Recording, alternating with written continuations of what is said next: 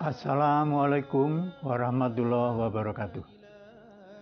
Setelah sebulan penuh kita berpuasa, sekarang tiba saatnya untuk menyatukan tangan, menyatukan hati, menjalin silaturahim di hari kemenangan ini untuk saling memaafkan.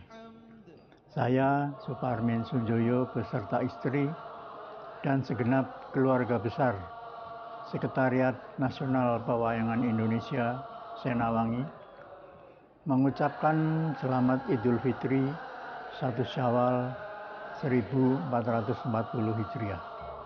Minal aidin wal faizin. Mohon maaf lahir batin.